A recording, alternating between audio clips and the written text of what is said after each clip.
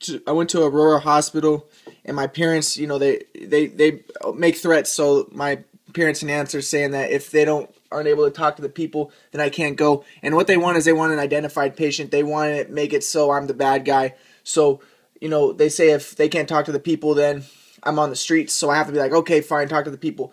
Despite my aunt and my parents and everybody trying desperately to try to make them give me medicine and try to make them uh, label me as mentally ill, which is what they want so badly to so they can try to explain everything.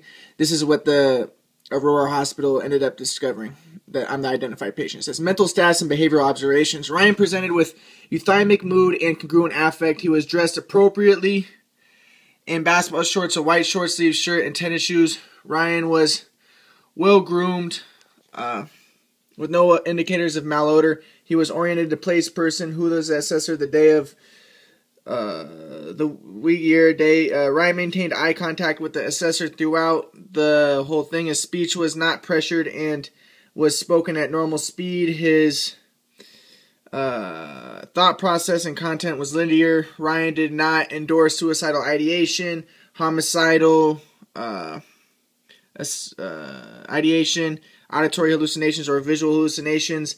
At the time of the thing and everything, Ryan remained motivated and cooperative throughout the testing uh, period, as evidenced by stating, I want my diagnosis of bipolar recanted. I am not bipolar. Ryan expressed that he is only here because his family believes he needs to be on medication and has uh, threatened to kick him out of his current living situation if he does not attend treatment based on Ryan's presentation, behavior, observations, interviews, and test scores. The results of this uh, evaluation may be slightly underreported, uh, but are still considered to be valid representation of his psychological functioning. Response to referral question. Summarized. Based on clinical interview with Ryan, psychological evaluation, interviews with staff and ABHDC, in review of available medical records, no diagnoses are warranted. Results do indicate characterological ideas of persecution, antisocial tendencies, low positive emotion, and uh, poor impulse control related to ineffective emotional modulation, all of which appear mild and warrant no specific diagnosis. Th- these personality traits may be exacerbated due to his current uh, situation in which his family believes that he has a mental disorder and is insisting against his own will that he take medication. Test results indicate that Ryan has a significant family problems and conflictual family relationships that warrant intervention. Ryan's complete psychosocial history and additional details regarding the results of psychological testing will be provided in a full report. Okay. Uh, assessment of the patient's risk to self low. At this time, Ryan appears to be at low risk for self harm. Ryan did not endorse self harming uh, thoughts, plan, or intent, blah, blah, blah. Protective factors that Ryan uh, possesses that may help him continue to progress through treatment are his desire to understand uh, himself, his motivation to become a teacher, and his desire to improve his relationships with his family members. Assessment of the patient's risk to others low, moderate. Uh, at this time, Ryan appears to be a low risk to others uh, when away from his family members.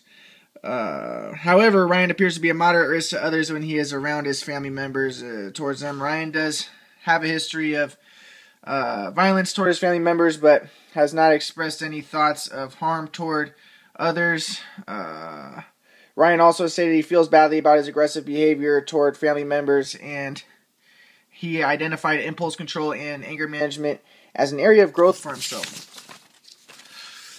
Uh, diagnoses Axis 1, relational problems not otherwise specified. Axis 2, no diagnosis. Axis 3, deferred to physician. Axis 4, problem with primary support, problems related to social environment, housing problems, occupational problems, other psychosocial and environmental problems.